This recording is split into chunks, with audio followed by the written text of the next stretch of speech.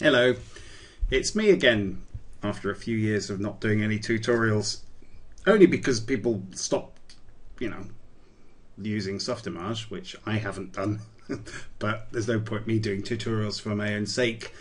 Um, so here I am in Maya, and I'm going to be taking a look at Bifrost, which is Maya's, uh, you know, ice equivalent, I guess. It's it, it's not exactly the same as ICE, but it's certainly a visual programming language which allows you to do a lot of the same type of things. Um, Autodesk asked me to do this, and they are sponsoring this, but it's by no means me trying to sort of, uh, you know, sing Bifrost praises unwitting, wittingly, with, un, you know, unwilling. No, I don't know. Anyway, basically, I'm going to be honest, but it isn't a review. It's just me playing around with it. I haven't really got up to speed with it that much. So over the course of the next month, I'm going to be, you know, doing some stuff in Bifrost and recording it as I go. so, right, first of all, what I thought I would do is try and explain briefly what visual programming is, because I'm going to try and aim this at people to people who haven't done any ICE or visual programming at all. And I know when I started off, it was extremely confusing. So, um, hopefully I can get people up to speed with kind of what the point of it is. I'm not going to be doing all of the um, fluid sim stuff because I've never really done any of that, but I'm just going to you know, explain kind of you know what the gist of visual programming is and hopefully get you know people enthused to try it. So this is a sphere in the scene and um, we've got this um, if you go there Bifrost this is how you start a Bifrost graph probably other methods as well. So if you've used ice, you'll be familiar with this, which is uh, a kind of, um, you know, this is like a sandbox area where you can bring stuff in from the scene, do stuff to it, and then output stuff back into the scene. So if I create a graph, right, how it works is you got these you got these nodes. This one here, input, brings stuff in from the scene and that outputs stuff into the scene. So anything that happens between here and here is your own invention of whatever you want to do. So what I'm going to do first of all is bring the sphere in, and I can do that just by grabbing that and bringing that in like that. So that's an input. Don't really need that one, so I can just delete that one. And we've got here mesh, and we've got output. So if I just bring the mesh and then output the mesh, you'll see, I'm not going to let go yet, um, if you look up here while I do it, I'm letting go now, you'll see this has been created, this BIF object. So this is where it slightly differs to ice, insofar as the ice would have um, just, well, you can't, there is no mesh in and mesh out like that in, in, uh, in ice. I would have basically done something to this sphere. But in this case, I'm using the sphere as an input and then the BIF is the output. So I can move that over there. Anything I do now to this, so this is coming here, anything I do to it will, will you'll be able to see there.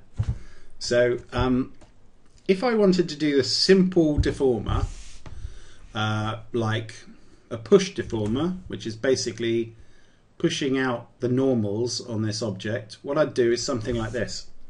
I'd get the positions of all the vertices on this object as they are now. I'd get the normals of this object and I would add the normal value to the point position value and then it would push them out. So let me do that first of all. If I hit tab, down here, it'll bring up a menu of stuff like this. now you can either manually find it by going in here. Um, in fact, that's what I'll do for the moment. Uh, so geometry, I'll do um, get.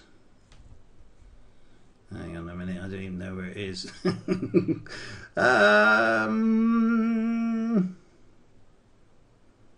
okay, I won't do that because I've got it here in my menu. But if you do get point, see it, see it comes up here as you're typing it. So what I want is to get the point position, plug that in, and that gives me out of here, gives me all of the point positions on this object.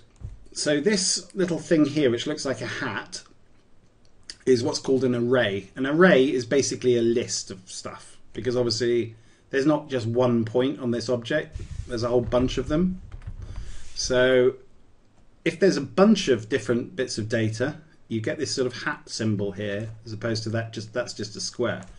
And that means that you know you're getting what's called an array of um, uh, you know bits of data. So if I um, then plug that into a set point position, so I go tab, set point position. Uh, and then plug that. So I'm getting the getting the point position there. I'm doing nothing to it apart from just setting them, and then outputting. Instead of just outputting the mesh as it is, I'll output from there. Now it disappeared. And the reason why it's disappeared is I'm setting the point position on a geometry which doesn't exist. There's nothing going into this. So I have to say to the that use that bit of geometry as the input to set it on, and then it's back at where it was. So this isn't particularly interesting at the moment because we haven't really got anything going on between here and here. It's just that. It's just not doing anything to them.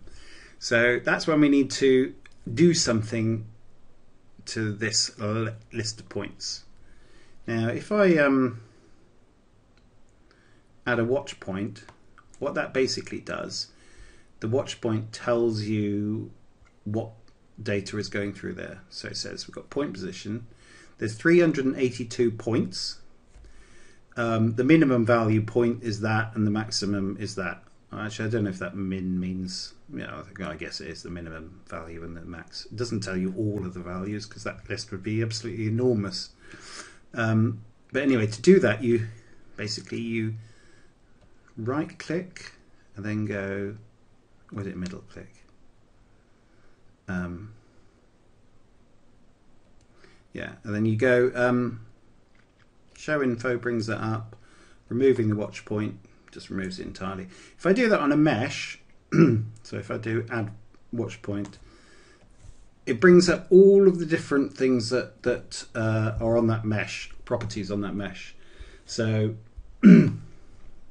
point position, point normal, um, and all this other stuff which you don't really need to worry about at the moment. But these are all different things that I can grab from that mesh different properties and do stuff with it. So I want point normal. So I'll get another data. I'll just remove that. Um, so I go get data. No, it's nice. get property. Sorry. Get. Well, I could just do get point normals to be honest. Um, get point. That's point get point normals is one I made myself because I didn't realize there was already one there. But it's just get point normal. Don't know why it called. They should have an S on the end because it's a load of different point normals, not just one. Uh, so get point normal. If I add this to the point position with an add node, then basically you're going to get this happening. You'll see it in a second. Like that. So the normals are by default they're one unit long I think, presumably they are. They are in our ice anyway. So that's why that thing has expanded that much. Now this ice tree is, you know, it's probably about as basic as you can get as a deformer, or you know, deforming that object. If we wanted to make it slightly more interesting, we'd want to regulate the length of these normals before they get plugged in. So instead of just having it one one unit long all all around, we'd want to be able to multiply this, you know, change the length of this normal. And to change the length of a vector, and I'll explain a little bit more later on what vectors are, maybe not in this video, but um, what you need to do is multiply it.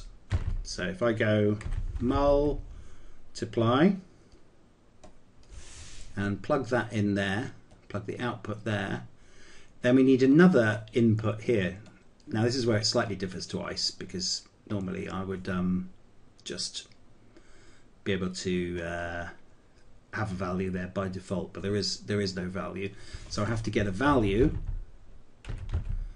oops, value and plug that value in. And my value is at zero. So that's another thing. Over here on the right, if I've clicked on a node, you'll see that it's got um, uh, stuff which relates to that node. And also, if you want to know a bit more about what the node does, you can read on info. You can read about it there, and it sort of tells you what that node will do. So if I go to value, the bits of information here are currently that it's a float, um, and its value is zero.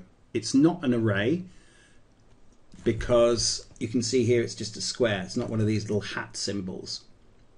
It's just a square.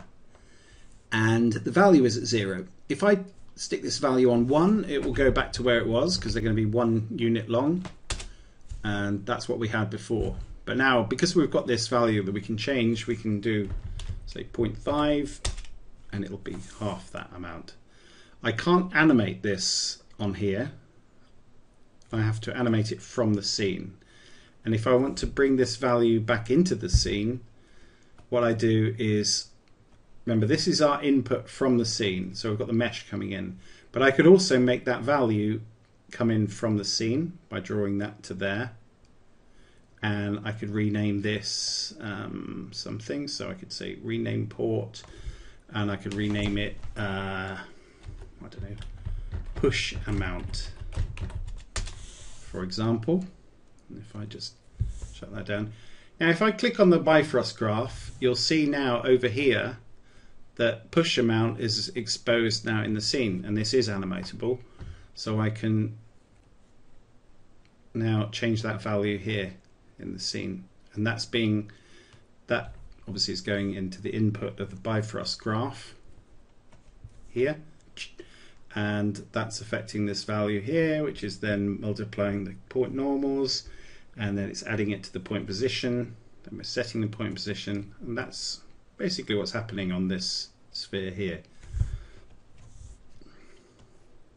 And that's a very simple about as simple as you can get um, intro to Bifrost. I think I'll probably leave it there because I want to make these small bite-sized videos. Um, if anybody has any questions, I'll answer them in the um, you know comment section of the video. Anyway, uh, so I'll be doing a bunch of these over the course of the next month or so, and um, yeah, it's going to be fun. Hopefully. All right. Thank you very much. Bye.